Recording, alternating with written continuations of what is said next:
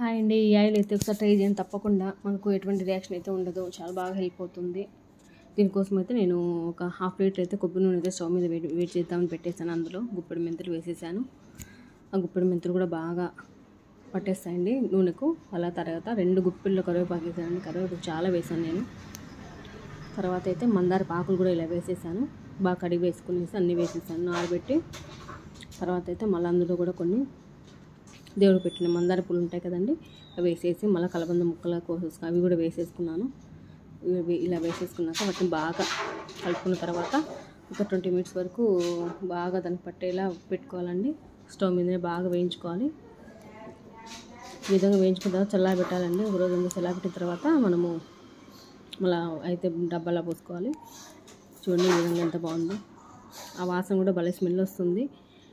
చాలా అయితే చాలా బాగా వర్క్ అయిందండి. నాకు హెయిర్ ఫాల్ చాలా బాగుంది పిల్లలు కూడా ఇది ఇది వాడిన తర్వాత అయితే చాలా కంట్రోల్ అయింది. పిల్లల హెయిర్ హెయిర్ కూడా బాగా షైనీగా వచ్చిందండి. నేను అందరు చెప్తుంటే అబ్బా అది ఇది అనుకున్నాను. కానీ నేను ట్రై చేసిన తర్వాత చెప్తున్నానండి.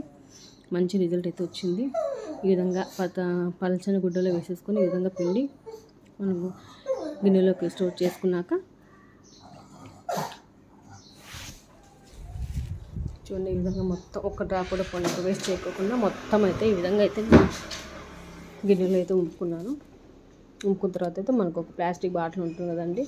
సీసాలైనా సరే ఏదైనా సరే ఈ విధంగా స్టోర్ చేసి పెట్టుకున్నామంటే పెట్టుకునేటప్పుడు గిన్నెలో వేసుకొని కొంచెం హీట్ చేసుకొని తల కాలి పెట్టుకుంటే చాలా మంచిగా ఉంటుంది. తల కూడా చల్లబడుతుందండి. ఖచ్చితంగా ఎంత అయితే ఆయిల్ వేసానో అంతే ఆయిల్ వచ్చింది. ఇంకా కొందరు అయితే ఆముదం కూడా యాడ్ చేసుకుంటారు.